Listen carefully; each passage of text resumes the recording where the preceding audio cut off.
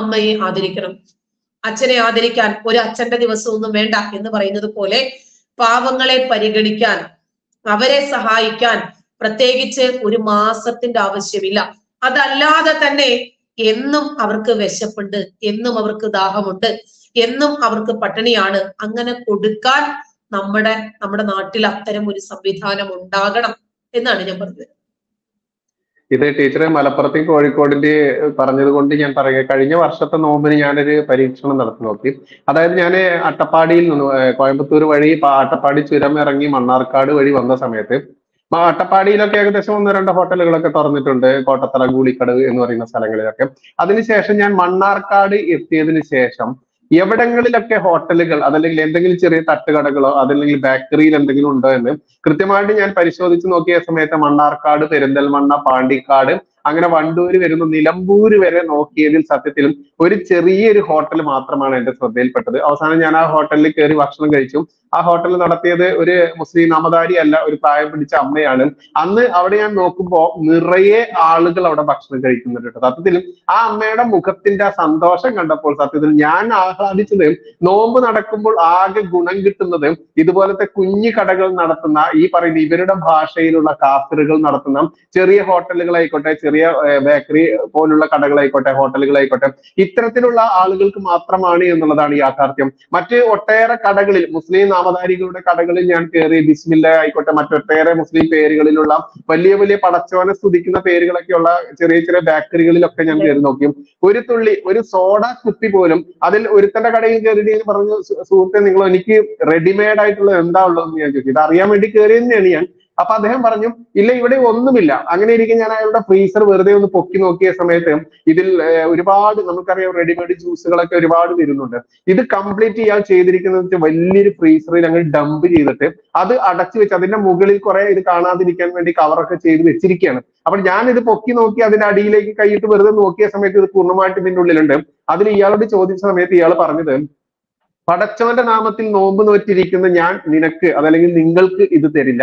മാത്രമല്ല നിങ്ങളൊരു ഹിന്ദു വിശ്വാസിയാണെന്ന് എനിക്ക് മനസ്സിലായി. കാരണം എന്റെ കയ്യിൽ ഈ കെട്ടും ചരടൊക്കെ കണ്ടത് കൊണ്ടായിരിക്കാം പുള്ളിക്ക് കാര്യം പെട്ടെന്ന് മനസ്സിലായി. പുള്ളി എന്റെ അടുത്ത് പറഞ്ഞു നിങ്ങൾക്ക് തരാൻ പാടില്ല ഞങ്ങളുടെ വിശ്വാസ പ്രകാരം. ഞാൻ പറഞ്ഞു ഞാൻ ഗൾഫ് രാജ്യങ്ങളിൽ ഞാൻ ദുബായിൽ അബുദാബിയിലൊക്കെ ജോലി ചെയ്തിട്ടുള്ള ഒരു വ്യക്തിയാണ്. അവിടെ നമ്മുടെ ഓഫീസിലേക്കൊക്കെ അക്കൗണ്ട് സെക്ഷനിലായതുകൊണ്ട് തന്നെ ഏറ്റവും കൂടുതൽ അവിടുത്തെ പ്രാദേശിക അറബികളുമായിട്ട് കമ്പനി സ്ഥാപന മേധാവികളുമായിട്ടൊക്കെ നമുക്ക് ഇടപഴകേണ്ടതുണ്ട്. നമ്മുടെ ഒരു ഫോൺ ചെയ്ത് കഴിഞ്ഞാലോ? അതല്ലെങ്കിൽ നമ്മളെ ഒരാൾ നേരിട്ട് വന്ന് കണ്ടാലോ? നമ്മൾ ആദ്യം പറയുന്നത് അതല്ലെങ്കിൽ കയറി വരുമ്പോൾ അവർ പറയുക അസ്ലാം അലൈക്കും പറയും. നമ്മൾ വാ അലൈക്കും അസ്സലാം നമ്മൾ തിരിച്ചു പറയും. എന്നാൽ നേരെ തിരിച്ച് മലപ്പുറത്തിന്റെ ഏതെങ്കിലും ഒരു മുസ്ലിം നാമധാരിയായിട്ടുള്ള ഒരുത്തന്റെ കടയിൽ ചെന്നിട്ട് അസ്ലാം അലൈക്കും എന്ന് ഒരു കാവി മുണ്ടെടുത്തവൻ അതല്ലെങ്കിൽ ഇതുപോലെ രാഖി കിട്ടിയവൻ ചന്ദനക്കുരി നെറ്റിയിൽ തൊട്ടവൻ ഭസ്മം തൊട്ടവനൊക്കെ പറഞ്ഞു കഴിഞ്ഞാൽ അവർ തിരിച്ചു പറയില്ല എന്ന് മാത്രമല്ല ഒരുവിധം ആളുകളൊക്കെ ഇവനോട് പറയുന്നില്ല നിങ്ങളോട് അത് മടക്കാൻ ഞങ്ങൾക്ക് ഞങ്ങളുടെ കിതാബിൽ പറഞ്ഞിട്ടില്ല എന്ന് പറയുന്ന ഇത്തരക്കാരാണ് പ്രത്യേകിച്ച് മലപ്പുറത്തിനെയൊക്കെ മതേതരത്വത്തിന്റെ അങ്ങോട്ട് അപ്പോസ്തലന്മാരാക്കിക്കൊണ്ട് ഇവിടെ അങ്ങോട്ട് വാഴ്ത്തുന്ന. മലപ്പുറം എന്ന് പറയുന്ന ജില്ല ഈ ജില്ലയല്ല ഇത് പാകിസ്ഥാൻ പോലുള്ള രാജ്യമായിട്ടാണ് ഇവർ കൺസിഡർ ചെയ്യുന്നത്. മാത്രമല്ല പാകിസ്ഥാനോ അഫ്ഗാനിസ്ഥാനോ അതല്ലെങ്കിൽ ഇസ്ലാമിക ഭീകര രാജ്യങ്ങളിലൊക്കെ എന്തെങ്കിലും സംഭവിച്ചു കഴിഞ്ഞാൽ അതിന്റെ ഏറ്റവും അനുകിരണങ്ങൾ കാണുക ഈ പറയുന്ന മല മലപ്പുറം ജില്ലയിലാണ് എന്നുള്ളതുമാണ്. അത്തരത്തിൽ ഈ ചങ്ങാതി ഒരു തുള്ളി വെള്ളം തന്നില്ല എന്ന് മാത്രമല്ല അവന്റെ ആ ആ കടയിൽ ഉണ്ടായിരുന്ന അവനെ ഒരു കൈയിട്ട് എടുത്തു തരാവുന്ന ഞാൻ പറഞ്ഞു സഹോദര നിങ്ങൾക്ക് ഇത് തന്നു കഴിഞ്ഞാൽ എനിക്ക് കാറിൽ ഇരുന്ന് കുടിക്കാമല്ലോ. അതല്ലെങ്കിൽ കാറിൽ ഇത് കഴിക്കാമല്ലോ? ഇത് തന്നുകൂടെ എന്ന് ചോദിച്ച ആ സഹോദരൻ പറഞ്ഞത് ഇല്ല തരാൻ പറ്റില്ല നിങ്ങൾ വേറെ ഏതെങ്കിലും കടയിൽ നോക്കിക്കോളൂ. എന്തായാലും എന്റെ ഈ കടയിൽ നിന്ന് നിങ്ങൾക്ക് ഒന്നും കിട്ടില്ല എന്ന് പറഞ്ഞു. അത്തരത്തിൽ ഈ മലപ്പുറത്തിന്റെ ആ മണ്ണിന്റെ വീഥികളിലൂടെ കടന്ന സമയത്ത് ഈ വണ്ടൂർ എന്ന് പറയുന്ന സ്ഥലത്ത് എത്തിയപ്പോൾ മാത്രമാണ് ഇതുപോലെ റോഡ് സൈഡിൽ ചെറിയൊരു കട കാണുകയും ആ കട ഒരു അമ്മയും ഒരു അച്ഛനും കൂടി നടത്തുന്ന പാവം പിടിച്ച അതായത് ഈ അച്ഛന് പ്രായാധിക്യം കൊണ്ട് അദ്ദേഹത്തിന് നടന്ന് നമുക്കൊരു ചായ കൊണ്ട് തരാൻ പോലും ബുദ്ധിമുട്ടുള്ള ആൾ. പക്ഷേ അവിടെ അന്ന് തിരക്ക് പിടിച്ച കച്ചവടം നടക്കുന്നു. അതുകൊണ്ട് തന്നെ ഈ പറയുന്ന റമളാൻ മാസത്തിൽ പതിനൊന്ന് മാസം കുപ്പി അണിഞ്ഞ ടീച്ചർ തന്നെ പറഞ്ഞിട്ടുള്ള വാക്ക് ഉപയോഗിക്കുകയാണെങ്കിൽ ഒരു മാസം തൊപ്പി അണിഞ്ഞ് നടക്കുന്ന ഈ റമളാൻ മാസത്തെ ഈ നോമ്പ് എന്തോ വലിയ സംഭവമാണെന്ന് പറഞ്ഞു നടക്കുന്നവരോട് കൃത്യമായിട്ടും പറയാനുള്ളത്. നിങ്ങൾ ചെയ്യുന്നത് ഒരു ശാരീരിക പീഡനം മാത്രമല്ല നിങ്ങളുടെ മതാചാര പ്രകാരമുള്ള മത ആ- ഒരു അനുഷ്ഠാന പ്രകാരമുള്ള ചടങ്ങുകൾ നടത്തുന്നത് കൊണ്ട് തന്നെ ഇവിടെ ഏറ്റവും കൂടുതൽ മറ്റൊരു കാര്യം കൂടി ഉദ്ധരിക്കേണ്ടത് ഇവിടെ ഏറ്റവും കൂടുതൽ തൊണ്ണൂറ്റി ഒൻപത് ശതമാനവും ബിൽഡിങ്ങുകളായാലും കെട്ടിടങ്ങളായാലും പൂർണമായിട്ട് സ്ഥലങ്ങൾ ഈ ബിൽഡിങ്ങുകൾ നിൽക്കുന്ന സ്ഥലങ്ങളായാലും ഇത് പൂർണമായിട്ടും ഇസ്ലാമിക ഉടമസ്ഥതയിലായിരിക്കും എന്നുള്ളതാണ്. അതുകൊണ്ട് തന്നെ ഇപ്പോൾ മലപ്പുറം ജില്ലയിൽ പല കടയിലും മുസ്ലിം നാമധാരികളായിട്ടുള്ള ഉടമസ്ഥരുടെ ബിൽഡിങ്ങിൽ കഴിയുന്ന അവർക്ക് ആ ഒരു മാസത്തെ വാടക അവർ ഒഴിവാക്കി കൊടുത്തുകൊണ്ട് കട തുറക്കരുത് തുറന്നു കഴിഞ്ഞാൽ നീ ഇവിടെ നിന്ന് ഒഴിഞ്ഞു പോകണമെന്ന ചട്ടം കെട്ടിക്കൊണ്ട് നിർബന്ധിതമായി അവനെ പീഡിപ്പിച്ചുകൊണ്ട് അവനെ ഭീഷണിപ്പെടുത്തിക്കൊണ്ട് അവന്റെ കടയടപ്പിക്കുന്ന സിസ്റ്റം ഈ മലപ്പുറം ജില്ലയിൽ എന്ന് മാത്രമല്ല ഈ കേരളത്തിൽ അങ്ങോളം ഇങ്ങോളം അതല്ലെങ്കിൽ ലോകത്ത് അങ്ങോളം ഇങ്ങോളം തന്നെ എന്ന് പറയാം. കാരണം ഇവർ ഞാൻ തിന്നുന്നില്ലെങ്കിൽ നീയും തിന്നരുത്. ഞാൻ കഴിക്കുന്നില്ലെങ്കിൽ നീയും കഴിക്കരുത്. നീ ഞാൻ ഒരു തുള്ളി വെള്ളം കുടിക്കാതിരിക്കുകയാണെങ്കിൽ നീ ചാവാൻ കിടക്കുകയാണെങ്കിലും നിനക്കും ഒരു തുള്ളി വെള്ളം ഞാൻ തരില്ല എന്ന ആ മനോഭാവം ലോകത്ത് ആർക്കെങ്കിലും ഉണ്ട് എന്നുണ്ടെങ്കിൽ അത് ഈ വിഭാഗത്തിന് മാത്രമാണ് എന്ന് നമ്മൾ ചൊറിയാതെ വയ്യ എന്ന ഈ പ്രോഗ്രാമിൽ അതിശക്തമായി തന്നെ പറയേണ്ടതുണ്ട്. അത് കൃത്യമായിട്ട് മലപ്പുറം ജില്ലയായാലും കോഴിക്കോടായാലും ജീവിക്കുന്ന നമ്മൾ തന്നെയാണ് അതിന്റെ ഉദാഹരണങ്ങൾ. അനുഭവസ്ഥർ എന്നുള്ളത് കൂട്ടിച്ചേർക്കേണ്ടതുണ്ട്. കാരണം ഇവിടെ ആരുടെയും അനുഭവം നമ്മൾക്ക് ഉദ്ധരിച്ച് പറയേണ്ട ആവശ്യമില്ല. അത്തരത്തിൽ ഈ മലപ്പുറത്ത് നടക്കുന്ന ഈ തെമ്മാടിത്തരങ്ങൾ ഇത് മറച്ചു വെച്ചുകൊണ്ട് മലപ്പുറത്ത് കിട്ടുന്ന ഹോട്ടലുകൾ അതല്ലെങ്കിൽ കേരളത്തിൽ അങ്ങോളം ഇങ്ങോളം ഭക്ഷണം കിട്ടുന്ന ഹോട്ടലുകളുടെ പേരുകളൊക്കെ ഇതിന്റെ സോഷ്യൽ മീഡിയയിൽ സജീവമായിട്ട് വരും. ഈ ഈ മാസത്തിൽ മാത്രം കാണുന്ന ഒരു പ്രത്യേക പ്രതിഭാസമാണിത് ഇന്ന സ്ഥലത്ത് മലപ്പുറത്ത് ഇന്ന സ്ഥലത്ത് എവിടെയാണ് ഭക്ഷണം കിട്ടില്ല എന്ന് പറയുന്നത് അവിടെ ഒരുപാട് ഹോട്ടലുകളുടെ പേരുകൾ സോഷ്യൽ മീഡിയയിലൂടെ പ്രചരിപ്പിക്കുക. ഇതാ സംഘികളെ അതല്ലെങ്കിൽ ഹിന്ദു തീവ്രവാദികളെ അതല്ലെങ്കിൽ മതം വിട്ട യുക്തിവാദികളെ നിങ്ങൾ ഞങ്ങൾക്കെതിരെ നടത്തുന്ന പ്രചാരണങ്ങൾ പച്ച കള്ളമാണെന്ന് പറഞ്ഞുകൊണ്ട് ഇസ്ലാമിക നാമധാരികൾ ഇഷ്ടംപോലെ വരും. ഇനി മാത്രമല്ല ഇതിൽ തന്നെ ഒരു കമന്റ് വന്നിട്ടുണ്ട്. അതൊരു നായരുടെ കമന്റ് ആണ്. ആ നായരുടെ കമന്റ് ഞാൻ ഇവിടെ നിന്ന് വായിക്കേണ്ടതുണ്ട്. ഇയാൾ ഏത് നായരാണ് എന്ന് എനിക്ക് കൃത്യമായിട്ട് അറിയുന്നുണ്ട്. അതുകൊണ്ടാണ് ഞാൻ ഇതിവിടെ വായിക്കണം എന്ന് പറയുന്നത് ശ്രീകുമാരൻ നായർ ഫാസ്റ്റിംഗ് ഫാസ്റ്റിങ്ങിനെ കുറിച്ചാണ് പുള്ളി പറയുന്നത്. അതൊന്ന് പറയട്ടെ. ശ്രീകുമാരൻ നായർ എന്നുള്ളതാണ്. ഇതൊരു ഫേക്ക് ഐ ഡി ആവാൻ സാധ്യതയുള്ളൂ. മോളെ ഇത് പകൽ സമയങ്ങളിൽ മുൻപ് നോക്കണ്ട രാത്രിയിൽ നോക്കിയാലും മതി.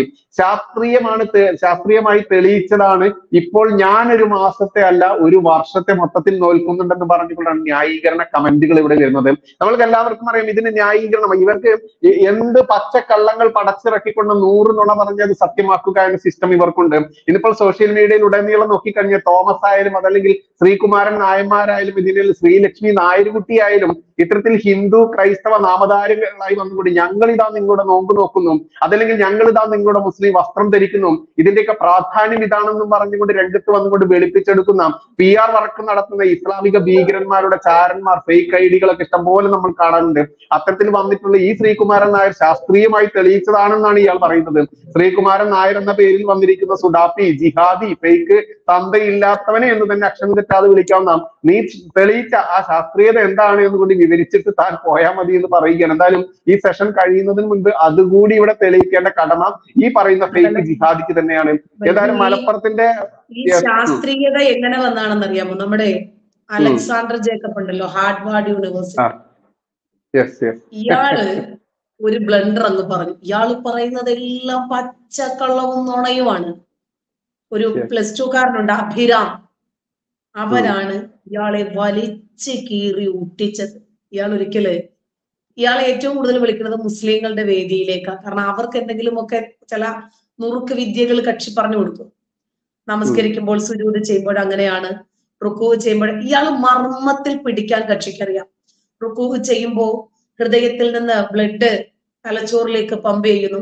പിന്നീട് നമ്മൾ സുജൂത് ചെയ്യുമ്പോൾ സാഷ്ടാംഗം ചെയ്യുമ്പോൾ ഹൃദയത്തിൽ നിന്നും അതിവേഗം പമ്പ് ചെയ്ത് ബ്ലഡ് തലച്ചോറിലേക്ക് എത്തുന്നു അത് നൂരുമ്പോൾ തലച്ചോറിൽ നിന്നും ഇങ്ങോട്ട് എത്തുന്നു പിന്നീട് ഉഗ്ര മുഹൂർത്തേ ഉദ്ദിഷ്ടേ അതുകൊണ്ടാണ് കൊച്ചു വെളുപ്പാങ്കാലത്ത് നമസ്കരിക്കുമ്പോ നമുക്ക് അങ്ങനെ ഉണ്ടാകുന്നത് എന്നൊക്കെ പറഞ്ഞിട്ട് ക്രൈസ്തവ വേദി പോകുമ്പോൾ അവർക്ക് അനുകൂലമായിട്ട് സംസാരിക്കും. ഹിന്ദുക്കളുടെ വേദി പോകുമ്പോൾ അങ്ങനെ ഒരു അവസരവാദിയാണ് കക്ഷി. കക്ഷി ഒരിക്കലും ഒരു വേദിയിൽ പറഞ്ഞു ഞാൻ ഹാർഡ്വാർഡ് യൂണിവേഴ്സിറ്റിയെ കുറിച്ചിട്ടാണ് ഞാൻ നിങ്ങളോട് പറയാൻ ഉദ്ദേശിക്കുന്നത്. പ്രത്യേകിച്ച് കുറെ കുട്ടികൾ പരീക്ഷയായി. അവർ കിഴക്കോട്ട് നോക്കിയിരുന്ന് പഠിക്കുന്ന കുട്ടികൾ വടക്കോട്ട് നോക്കിയിരുന്ന് പഠിക്കുന്ന കുട്ടികൾ പടിഞ്ഞാറോട്ട് നോക്കിയിരുന്ന് പഠിക്കുന്ന കുട്ടികൾ. മുസ്ലിങ്ങളെ പിടിക്കണമെങ്കിൽ കിഴക്കും പടിഞ്ഞാറും പിടിക്കണമല്ലോ. അപ്പൊ കക്ഷി പറഞ്ഞു നമ്മൾ നമസ്കരിക്കുന്ന ദിശ നോക്കിയിട്ട് പറഞ്ഞു. അവിടേക്ക് നോക്കിയിരുന്ന് പഠിച്ച കുട്ടികൾക്കൊക്കെ ഫുൾ മാർക്ക് മറ്റവർക്കൊന്നും ഫുൾ മാർക്ക് ഇല്ല. അങ്ങനെ അമേരിക്കയിലാണ് ഈ ഹാർഡ്വാർഡ് യൂണിവേഴ്സിറ്റി. അവരിങ്ങനെ ഒരു പഠനം നടത്തി നോക്കി. എന്നിട്ട് അവർ ഈ ബിൽഡിംഗ് മൊത്തം ഇടിച്ചു പൊളിച്ചു അമേരിക്കയിലെ. ഇടിച്ചു പൊളിച്ചിട്ട് എല്ലാ ക്ലാസ് മുറികളും ഈ കിഴക്കും പടിഞ്ഞാറും മാത്രം ശ്രദ്ധിച്ച് പഠിച്ച കുട്ടികളുണ്ടല്ലോ. അതുപോലെയാക്കി നോക്കിയപ്പോ വൻ വിജയം. ഈ പ്ലസ് ടു കാരന് എന്തോ എല്ലാവരും നോക്കണം. കോടിക്കണക്കിന് ജനങ്ങൾ കേട്ട് കഴിഞ്ഞു കേട്ട് തള്ളിയ ഒരു വീഡിയോ ഈ കുട്ടി ഹാർഡ്വാർഡ് യൂണിവേഴ്സിറ്റിയുടെ മെയിൽ എടുത്തു. ഇങ്ങനെ ഒരു സംഭവം നടന്നിട്ടുണ്ടോ എന്ന് അവർക്ക് മെയിൽ അയച്ച് ചോദിച്ചു. ഈ അഭിറാം. അങ്ങനെ ഒരു സംഭവമേ ഇല്ല എന്ന് പറഞ്ഞിട്ട് അവർ തിരിച്ച് മെയിൽ അയച്ചു ഈ കുട്ടി ഇത് പബ്ലിഷ് ചെയ്തു. സോഷ്യൽ മീഡിയയിലും മൊത്തം പബ്ലിഷ് ചെയ്തു. ഒടുവിൽ ഇത് അതിലേറെ രസം. അതുവരെ ഇയാളെ വാനോളം പൊക്കിക്കൊണ്ട് നടന്ന മുക്കാൽ വണ്ണൊക്കെ പൊത്തോന്ന് കൊണ്ടുവന്ന് അങ്ങ് താഴെയിട്ടു. പക്ഷേ പിന്നെ നോക്കിയപ്പോ മുക്കാൽ വണ്ണൊക്കെ ഇയാളെ അങ്ങോട്ടും ഇങ്ങോട്ടും പിടിയും വലിയുമാണ്. വലിച്ചു കീറുക ഇയാൾ വിശദീകരണവുമായിട്ട് വരാൻ നിർബന്ധിതരായി കാരണം കാലം ഇതാണ്. സോഷ്യൽ മീഡിയ പ്ലാറ്റ്ഫോം മൊത്തം ഇളകി. ഇയാളുടെ വീട്ടിൽ ഒരുപാട് യൂട്യൂബേഴ്സ് അപ്പൊ ഇയാൾ പറഞ്ഞു ഞാനേ ഒരിക്കലും കാരണം ഇയാൾക്ക് അബദ്ധം പറ്റിയെന്നും ഇയാൾ മണ്ടത്തരാണ് പറഞ്ഞതെന്നും ഇയാൾ അംഗീകരിക്കത്തില്ലല്ലോ. ഞാനൊരു പ്രോഗ്രാമിന് പോകുന്ന സമയത്ത് യാത്രക്കിടയിൽ ഒരു സ്വാമി എന്നോട് പറഞ്ഞ. സ്വാമി ആകട്ടെ ആരാകട്ടെ ഒരാൾ എന്നോട് പറഞ്ഞതാണ് ഹാർഡ്വാർഡ് യൂണിവേഴ്സിറ്റിയുടെ രഹസ്യം. ഇയാൾ ഇപ്പം ആരോ ഒരാൾ മെസ്സേജ് അയച്ചെന്ന് പറഞ്ഞില്ലേ? ലൈവ് ചാറ്റിൽ വന്നെന്ന് പറഞ്ഞില്ലേ? ഇയാൾ പറഞ്ഞു പതിനഞ്ച് പതിനാറ് മണിക്കൂർ ഒരു മനുഷ്യൻ പട്ടിണി ഇരുന്നാൽ അവരുടെ കുടലിനോട് ചേർന്ന് കിടക്കുന്ന പെരിറ്റോണിയം പൊട്ടി ഒരു എൻസൈം പുറത്തു വരും. ഈ എൻസൈം മനുഷ്യന് ഭയങ്കരമായ രോഗപ്രതിരോധ ശക്തി നൽകുമെന്ന്. ഞാൻ എനിക്ക് ഒരുപാട് ഡോക്ടർ സുഹൃത്തുക്കൾ ഉണ്ട് അവരൊക്കെ പറഞ്ഞു പെരിറ്റോണിയം പൊട്ടിയാൽ മനുഷ്യൻ മരിച്ചു പോകും. അങ്ങനെയാണെങ്കിൽ സുഡാനിൽ സൊമാലിയയിലൊക്കെ മുസ്ലിങ്ങൾ ഒരുപാട് വിഷമം അനുഭവിക്കുക. ഇപ്പൊ ഹമാസ് ഗാസ അനുഭവിക്കണം അവരാണെങ്കിൽ പതിനഞ്ച് മണിക്കൂർ വിശന്നിരിക്കുക പെരിറ്റോണിയം പൊട്ടുക പിന്നെയും രോഗപ്രതിരോധ ശേഷി കൂടുക പിന്നെയും അവർക്ക് പതിനഞ്ച് മണിക്കൂർ സ്കൂളായിട്ട് ഇരിക്കാൻ പറ്റൂല. അങ്ങനെയാണെങ്കിൽ പട്ടിണി മരണങ്ങളൊന്നും സംഭവിക്കത്തില്ലല്ലോ. അപ്പൊ ഇവർ ഇയാളിത് പറയുന്നത് മദ്രസ പൊട്ടന്മാരോടാ ഇവരിത് കണ്ണടച്ചങ്ങ് വിശ്വസിക്കും. പിന്നീട് ഇവരിത് വിളമ്പാൻ തുടങ്ങും. ഒരിക്കൽ ഞങ്ങളുടെ ഒരു യുക്തിവാദി സുഹൃത്തുണ്ട്. അയാൾ പല്ലിയെ കുറിച്ച് ചുമ്മാ ട്രോളി ഒരു ആർട്ടിക്കിൾ എഴുതി. പല്ലിയുടെ പുറത്ത് അതാണ് ഇതാണ് ഒറ്റയടിക്ക് കൊന്നാൽ അങ്ങനെയാണ് ഇങ്ങനെ. അതെടുത്തൊരു ഉസ്താദ് എടുത്ത് അങ്ങ് വീഡിയോ ചെയ്തു. അയാൾ ട്രോളിയതാ. അദ്ദേഹം പറഞ്ഞത്. ഇവർക്ക് അടിസ്ഥാനപരമായി ഒരു തെളിവും വേണ്ട. അപ്പോ നോമ്പിന്റെ ശാസ്ത്രീയത എന്ത് പറഞ്ഞത്?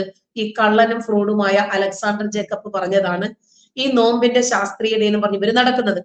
മനുഷ്യനെ ശാരീരികമായി പീഡിപ്പിക്കുക എന്നതല്ലാതെ ഇതിനകത്ത് ഒരു കാര്യവുമില്ല. പിന്നെ കടകൾ തുറക്കുന്നത്. കഴിഞ്ഞ വർഷത്തെ റമദാനിൽ ഒരുപാട് വൈറലായ ഒരു വാർത്ത ഉണ്ടായിരുന്നു നോമ്പ് കാലത്ത് കടകൾ തുറക്കുന്നതിനെതിരെ വ്യാപാരിയെ ഭീഷണിപ്പെടുത്തി. അത് കോഴിക്കോട് മുഖദാർ കടപ്പുറത്ത് ഈ റമദാൻ കാലത്ത് കടകൾ തുറക്കുന്നതിനെതിരെ കുറച്ച് ഫ്ലക്സ് ബോർഡുകൾ പ്രത്യക്ഷപ്പെട്ടു. കടകൾ തുറക്കരുത്. ഇവരെല്ലാം ഭീഷണിയിലൂടെയാണ് ഇതുവരെ നേടിയിട്ടുള്ളത്. നോമ്പ് കാലത്ത് കടകൾ തുറക്കരുത് എന്ന അലിഖിതമായ പ്രഖ്യാപനമാണ് ഉത്തരവാണ് അങ്ങനെ ഇതര മതസ്ഥരായ കട ഉടമകളെയൊക്കെ ഇവിടെ കഴിഞ്ഞ ദിവസം ഒരു സംഘം മതമൗലികവാദികൾ വന്ന് ഭീഷണിപ്പെടുത്തി എന്നൊക്കെ പറഞ്ഞിട്ട് വലിയ രൂപത്തിൽ പല ആളുകളും വാർത്ത ചെയ്തു. അതിനെ തുടർന്ന് നിർബന്ധിതമായി കടകൾ അടപ്പിക്കണം എന്ന് പറഞ്ഞ് മുസ്ലിം വിഭാഗം വരികയും നടക്കില്ല എന്ന് പറഞ്ഞ് മറുവിഭാഗം പ്രതിഷേധം ഉയർത്തി വന്നു. അതാണ് നമുക്ക് എതിർ ശബ്ദങ്ങളാണ് നമ്മുടെ സമൂഹത്തിൽ ഇല്ലാതെ പോകുന്നത്. അപ്പോൾ അമുസ്ലിങ്ങൾ കുറച്ചും കൂടി സ്ട്രോങ് ആയി. കോഴിക്കോടാണ്. എന്താ കട തുറന്നാൽ? അപ്പോ ആട്ടിച്ചു പൊട്ടിക്കുമെന്ന് പറഞ്ഞു. എന്നാലൊന്ന് പൊട്ടിക്കും എന്ന് പറഞ്ഞു അങ്ങനെ ഹിന്ദുക്കളൊക്കെ ഏകീകരിച്ച് അവരൊക്കെ അവരുടെ കടകൾ തുറന്നു ഒരു ചുക്കും സംഭവിച്ചില്ല. ആ സംഭവത്തിൽ ഹിന്ദു ഐക്യവേദിയുടെ സംസ്ഥാന വക്താവായ ആർ വി ബാബു ഉൾപ്പെടെ ശക്തമായ പ്രതികരണവുമായി ഉറച്ചു നിന്നു സമൂഹത്തിൽ. ഈ നോമ്പ് കാലത്ത് കടകൾ തുറന്നാൽ മതവികാരം വ്രണപ്പെടുമെന്നും മത നിയമം അതായത് ശരീരത്ത് നിയമം അനുസരിച്ചിട്ടുള്ള ശിക്ഷയ്ക്ക് വിധിക്കുമെന്നുമാണ് ഇവർ പറഞ്ഞത്. എന്നാ പിന്നെ അങ്ങ് കാണട്ടെ എന്ന് പറഞ്ഞു ആർ വി ബാബു. നിങ്ങൾ അങ്ങ് ചെയ്ത് കാണിക്കും. പാകിസ്ഥാനിലെ പെഷവാറിനടുത്ത് മുഖദാർ ബീച്ചിൽ മലയാളത്തിൽ ഒരു ബോർഡ് പ്രത്യക്ഷപ്പെടുവാണ്. മതേതര ഒരു ഫ്ലെക്സ് ബോർഡ് എന്ന് ചൂണ്ടിക്കാണിച്ചിട്ടായിരുന്നു പലരും ആ ഫ്ലെക്സ് ബോർഡ് പങ്കുവച്ചത് തന്നെ. നോമ്പ് മുഖദാർ എന്ന് പറയുന്ന പാകിസ്ഥാൻ മുക്കുണ്ട്. നമ്മുടെ കേരളത്തിൽ ഒരുപാട് മുഖദാർ ബീച്ചുകൾ ഉണ്ട് ഒരുപാട്. സത്യത്തിൽ അത് പാകിസ്ഥാനിലല്ല കേരളത്തിലെ മുഖദാർ ബീച്ചിൽ പ്രത്യക്ഷപ്പെട്ട ഒരു ബോർഡായിരുന്നു. ഒരു ന്യായീകരിച്ചു വന്നതാണ്. പാകിസ്ഥാനിലെ മലയാളത്തിലെ ബോർഡെ ഇവരാരോടായി പറയുന്നത്? നോമ്പ് തുടങ്ങുന്നതിന് കുറച്ച് മുന്നോടിയായിട്ട് മുന്നറിയിപ്പ് എന്ന തരത്തിൽ കുറച്ച് ഫ്ലക്സ് ബോർഡുകളൊക്കെ സ്ഥാപിക്കപ്പെടും. പലയിടങ്ങളിലും കഴിഞ്ഞ വർഷങ്ങളിൽ അടച്ചിട്ടതുപോലെ ഈ വർഷവും നോമ്പ് കാലത്ത് നമ്മുടെ കട അടച്ചിടണമെന്നാണ് നമ്മുടെ മസ്ജിദിന്റെ ഒക്കെ നിർദ്ദേശമുള്ളത് നമ്മുടെ ഇമാമു പറഞ്ഞിട്ടുണ്ട്. അതുകൊണ്ട് മുഖദാർ മുഹമ്മദ് അലി കടപ്പുറം മുതൽ കണ്ണമ്പറമ്പ് പള്ളി വരെ അതൊക്കെ ബീച്ച് റോഡുകളാണ്. അവിടെയൊക്കെ ഭക്ഷണ സാധനങ്ങൾ വിൽക്കുന്ന കടകൾക്ക് ശക്തമായ രൂപത്തിൽ ഇവർ നിർദ്ദേശം നൽകുകയാണ് തുറക്കരുത്. ചില ഹർത്താലുകൾക്ക് സി പി എം ഗുണ്ടകൾ വന്നിട്ട് പറയുന്നത് പോലെ അങ്ങനെ ഒരുപാട് രാഷ്ട്രീയ പാർട്ടികളും പള്ളി കമ്മിറ്റികളും ഒക്കെയാണ് ഇത് പറഞ്ഞിരിക്കുന്നത് എന്നൊക്കെ രണ്ടു കൂട്ടരും അവകാശപ്പെടുന്നുണ്ട്. അങ്ങനെ സമൂഹ മാധ്യമ